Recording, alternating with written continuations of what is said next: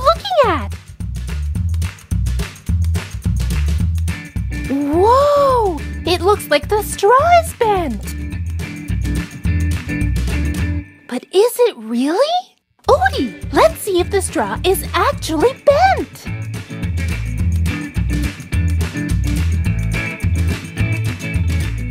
It looks pretty straight to me.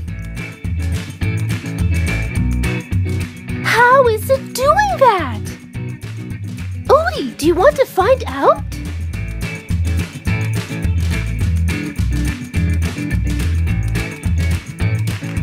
Have you ever noticed that it's easier to run through air than it is to run in water? This is because water is denser than air.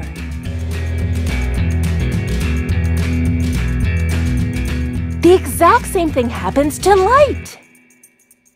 When light moves from one substance to another, it changes speed.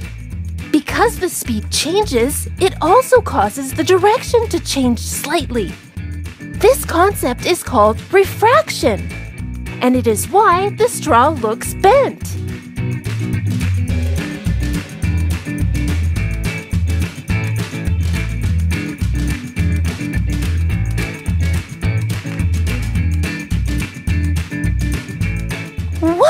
That's amazing!